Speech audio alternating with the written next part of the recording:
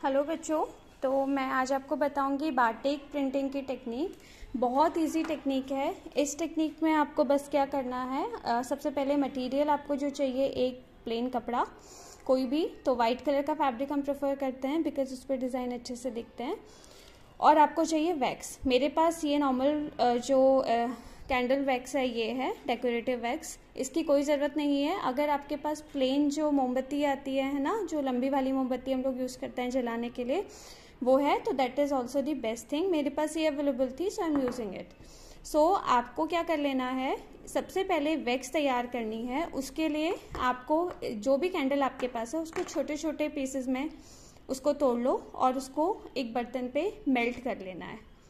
तो आपको कैंडल इसको छोटे छोटे पार्ट्स में आप सबसे पहले आपको इसको ब्रेक करना है।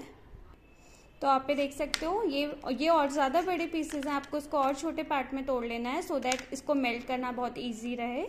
और आप जो भी इसमें थ्रेड एंड ऑल अगर कुछ ऐसे लगा हुआ है तो वो आपको हटा देना है। And then what you have to do simply you have to put it on this stove आपको गर्म पानी के ऊपर इसको रखना है। और ये वेल्ट जब, ये जब जो वैक्स है, ये मेल्ट हो जाएगी तो आपको इसको अपने कपड़ों पे अप्लाई करना है। तो आइए मैं दिखाती हूँ इसकी मेल्टिंग कैसे करनी है आपको।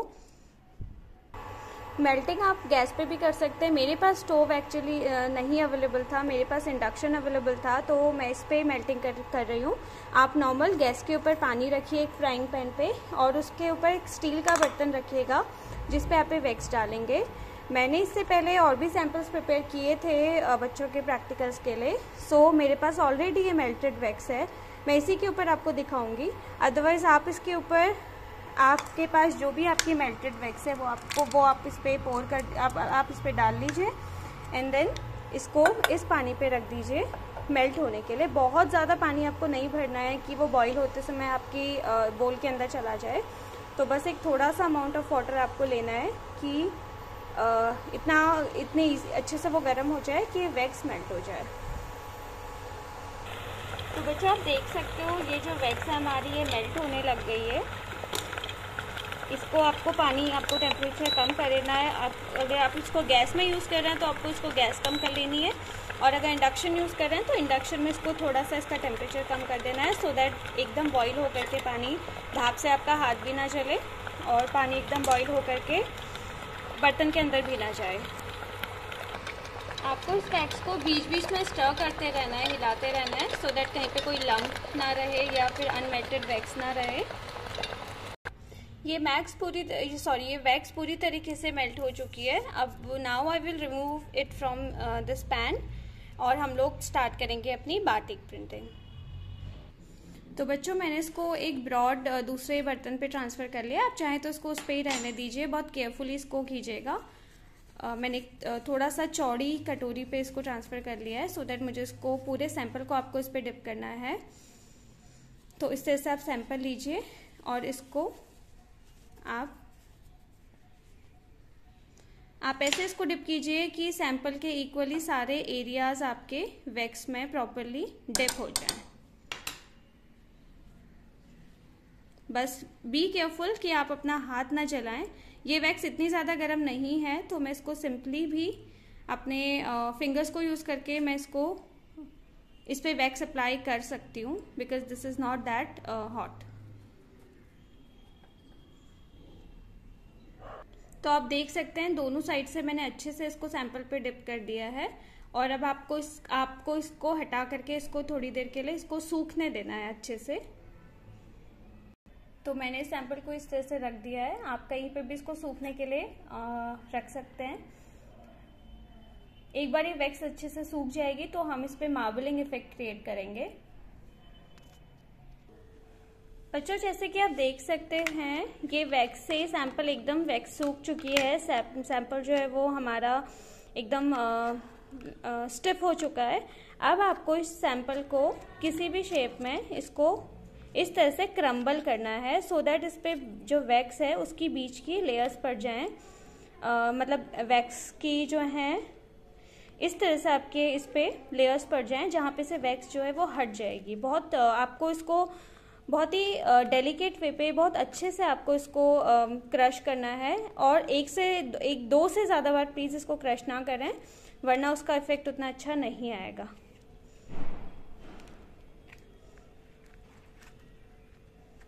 सो so, ये हमारा सैंपल इससे बीच बीच में से आप देखिए इतनी वैक्स निकल चुकी है। अब हम इसको एक कलर सोल्यूशन पे डिप करेंगे। आप कलर सोल्यूशन कैसे बना सकते हैं? मैंने नॉर्मल फ़ूड कलर यूज़ किया है उसको पानी पे घोल के। आप याद रखिए, आपको गर्म पानी का सोल्यूशन बिल्कुल नहीं यूज़ करना है अदरवाइज़ जो वैक्स है वो मेल्ट हो जाएगी आपकी। आपको ठंडा पानी इसमें यूज़ करना है। तो आप नॉर्मल कलर को पानी पे घोल लीजिए, उससे बना लीजिए। या फिर अगर आपके पास कोई फैब्रिक कलर है, उसको पानी में घोल करके बना लीजिए उसका सोल्यूशन और ये आपके पास हल्दी है तो हल्दी को पानी में बॉईल कर लीजिए और उसके बाद उसको ठंडा करके उस सोल्यूशन को आप यूज़ कर सकते हैं अपने मार्बल बाटिक प्रिंटिंग के टेक्निक पे। सो मेरे पास ऑलरेडी यहाँ पे एक फ़ूड सोल्यूशन मैंने बनाया हुआ है। सो इस पर मैं आपको ये कपड़ा डिप करके बताऊँगी कि इस पर कैसा इफ़ेक्ट आता है। तो इस तरीके से हम ये कपड़ा अच्छे से इस पर डिप कर देते हैं।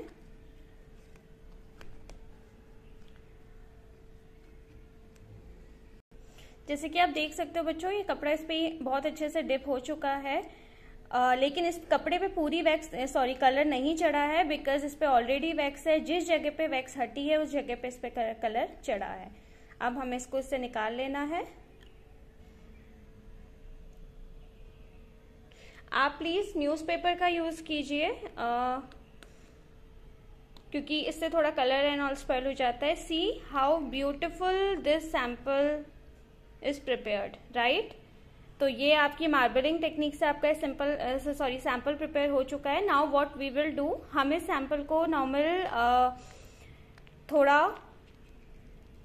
पानी से वॉश कर लेंगे सो so दैट ऊपर का जो कलर है वो हट जाए और उसके बाद हम इसको आयरन कर लेंगे। जो हमारी ये वैक्स है ये मेल्ट हो जाए और उसके बाद हम इसको हम हमें इसको इसका जो रियल इफ़ेक्ट है वो दिखाई देगा। तो बच्चों, हमारा ये सैंपल सूख चुका है अच्छे से। Now what I will do इसकी अब हमें वैक्स रिमूव करनी है राइट तो वैक्स रिमूव करने के लिए हमको इस सैंपल को, इसको आयरन करना पड़ेगा, इसको न्यूज़पेपर के बीच में रख करके। सो so दैट जो न्यूज़पेपर की लेयर्स हैं, वो उसकी वैक्स एब्जॉर्ब कर लें वैक्स इधर उधर स्पॉइल ना होए, और सैंपल से वैक्स भी रिमूव हो जाए। तो ये हमने न्यूज़पेपर ले लिया। इस तरह से आपको इस पर सैंपल प्लेस करना है और न्यूज़पेपर की जो दूसरी सरफेस है, उसको ऐसे करके रख देना है। देन आपको आयरन गरम आयरन लेनी है और इसको,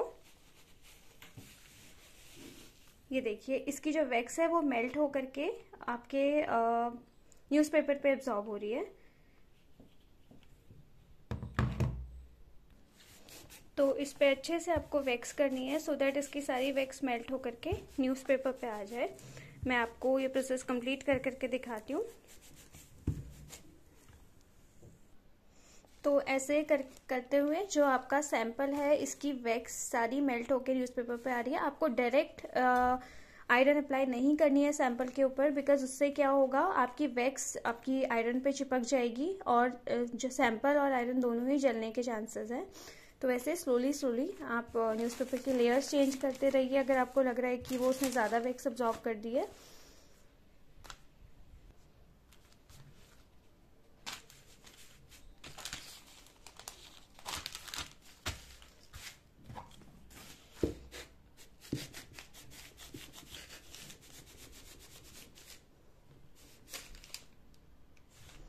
इस तरीके से आपको धीरे धीरे करते हुए जो आपका सैंपल है, उसकी वैक्स सारी की सारी रिमूव कर देनी है। अब आप देख सकते हो, बच्चों कि इस पर बहुत ही कम एक लाइन पे उसके सॉरी उसके बॉर्डर पे थोड़ी सी वैक्स बची थी। ऑलमोस्ट इससे वैक्स निकल चुकी है बिकॉज़ वैक्स न्यूज़पेपर पे आना बंद हो गई है। तो हम एक बार इसको चेक कर लेंगे। ये देखिए।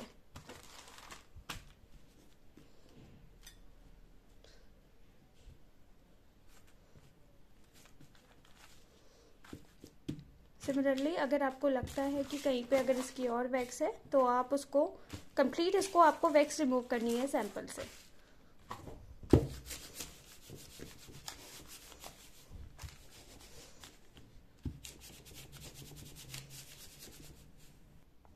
तो बच्चों नाउ यू कैन सी मेरे पूरे सैंपल से वैक्स रिमूव हो चुकी है तो बहुत ही ब्यूटीफुल इफ़ेक्ट इस सैंपल पे आया है, ठीक है? ये और जहाँ इसका प्रिंसिपल ये था कि जहाँ जहाँ पे हमारी, हम, हमने पहले पूरे सैंपल पे वैक्स अप्लाई की, उसके बाद हमने इसको क्रम्बल किया तो कुछ जगह से इसकी वैक्स एक पैटर्न पे रिमूव हो गई। तो जहाँ पर से इसकी वैक्स रिमूव हो गई, वहाँ पर हमारा कलर चढ़ गया जब हमने इसको कलर सोल्यूशन पे डिप किया। और जहाँ पे हमारी वैक्स की लेयर्स थी, जैसे यहाँ पे थोड़ी शायद पतली लेयर थी, यहाँ पे कंपैरेटिवली मोटी लेयर्स थी तो उसके हिसाब से हमारा पूरा ये पैटर्न क्रिएट हुआ। तो आप बहुत ही ब्यूटीफुल पैटर्न्स बना सकते हो, अपनी टी शर्ट्स को कलर कर सकते हो। बस ये चीज़ ध्यान पे रखिएगा कि जो आप, अगर टी शर्ट्स को कलर करना है तो आप जो कलर यूज़ करें, वो थोड़े पक्के कलर बाटिक के अपने कलर्स आते हैं, आप वो लेकर के आ सकते हैं मार्केट से और इस तरह से मार्बलिंग इफ़ेक्ट क्रिएट करके आप अपना सैंपल प्रिपेयर कर सकते हैं। अब इसकी सारी वैक्स रिमूव हो चुकी है बट अगर आप चाहें कि इसमें बिल्कुल भी लास्ट कुछ थोड़ा सा भी वैक्स रिमूव सॉरी वैक्स इसकी सतह पर ना रहे तो what you can do you can just wash it with normal soap water या जो डिटर्जेंट सर्फ का वाटर होता है उससे इसको वॉश कर दीजिए और उसको ड्राई करके सुखा के आयरन करके अपनी फ़ाइल पे स्टिक कर लीजिए. अगर आप अपने घर के कपड़ों में ये चीज़ कर रहे हैं टी शर्ट और किसी और चीज़ पे तो उस, उसका भी सेम चीज़ है वैक्स रिमूव करने के बाद आप उसको वॉश कर लीजिए धो लीजिए ताकि थोड़ा सा भी इस पर कुछ भी वैक्स का रिमेन ना रहे. और उसके बाद उसको नॉर्मल सोप वाटर पे धो करके, सुखा करके you can use it so this was about the complete batik technique I hope आपको पसंद आई होगी। अगर आपको टाई एंड डाई और ब्लॉक प्रिंटिंग की टेक्निक्स भी चाहिए, बहुत इजी टेक्निक्स मैंने बताई हैं तो वो आप मेरे यूट्यूब चैनल पे सेम चैनल पे जा करके देख सकते हैं, उसको वॉच कर सकते हैं। और अगर आपको वीडियो पसंद आई please like this video and subscribe the channel for more such kind of videos which will help you in preparing your practical file as well as in your practicals so thank you for watching.